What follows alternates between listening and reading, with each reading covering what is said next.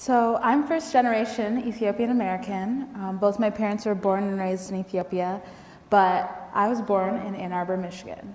Um, growing up, I had my grandparents and other family members that would live with me in my house for various periods of time. So it really connected me to my culture and my heritage. And in Ethiopian culture, food is a huge part of bringing people together. We sit around a big platter. Um, you're eating, everyone's eating from the same platter, and you're using your hands, you're feeding each other. It's really bonding with your food and with the people around you. Um, so I think this is where I first started to appreciate food, and I got this deep love for food. Um, I remember um, when it was time to be cooking the food. It takes all day to cook Ethiopian food, and the spices are so strong. I would run into my room and close the door so the smell didn't get on my hair or on my clothes because it would last all week, and I couldn't go to school smelling like Ethiopian food.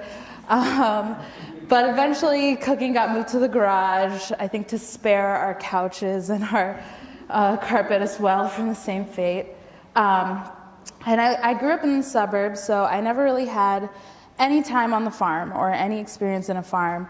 Um, except one time in kindergarten, I went on a field trip to Domino's farm actually, and we went to the barn and they taught us how to milk a cow. And in this demonstration, they proceeded to spray us down with milk directly from the cow's udder for some bizarre reason, and that's the only experience I have on a farm. Um, then, fast forward to my junior year of college, um, I went to Michigan State, big agriculture school, and I pursued a degree in food industry management. Um, the curriculum with food industry management was similar to the ag business curriculum, so a lot of my classes were in an agriculture sense.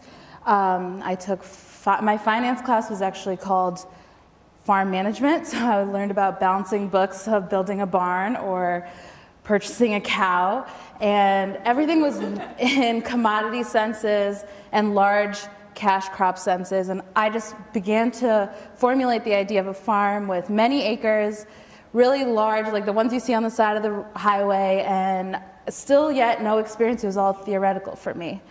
Um, now, fast forward to now, and when someone asks me what I do, I can either tell them the long explanation or the short explanation. And usually, my short explanation is met with a, oh, that's so cool. But what is that? So I have to give the long one, anyways. And I'm going to tell you the short one, but just disclaimer it's not very short.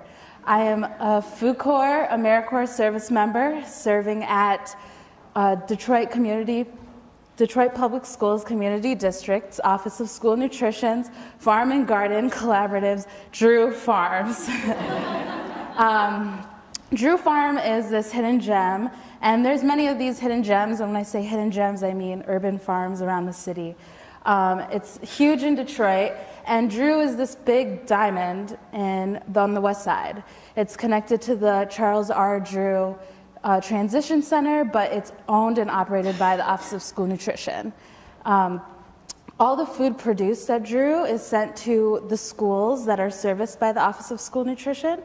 And to give you some perspective, the last year, if all the food that was produced was given to the students in one, it would be able to feed every student at the district for one day.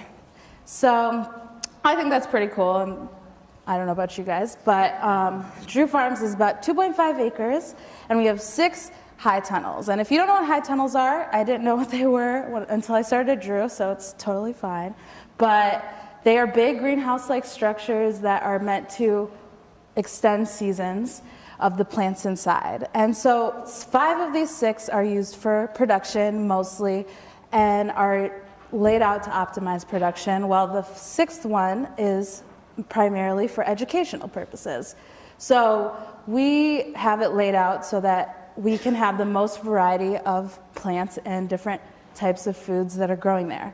And every Wednesday in the fall and the spring, we have students that come from all over the district for an all expense paid field trip, and we take them into this high tunnel. And they get to touch, they get to taste, they get to smell, they get to use all their senses, they get to harvest, they get to water, they really get to feel like they are working and a farmer, basically. Um, so one day, it was Halloween, and I remember all the students coming off the bus, and they were all dressed up in their costumes that I know they've been waiting weeks to wear. That we had five Black Panthers, three princesses, they were incredible.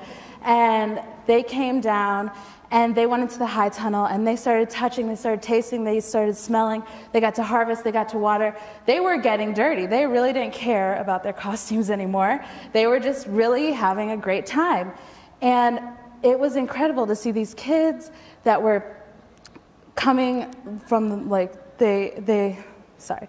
It was incredible to see the students that were like just loving to see the farm and they were touching everything and then they were asking all these questions about the plants and the the um, the vegetables and then they some of them maybe have never been on a farm before some of them are just first time seeing where their food is coming from and one kid came up to me and he asked, said, I want to be a farmer now. And it kind of took me back to when I was a kindergartner in a barn getting sprayed down by milk from a cow's udder.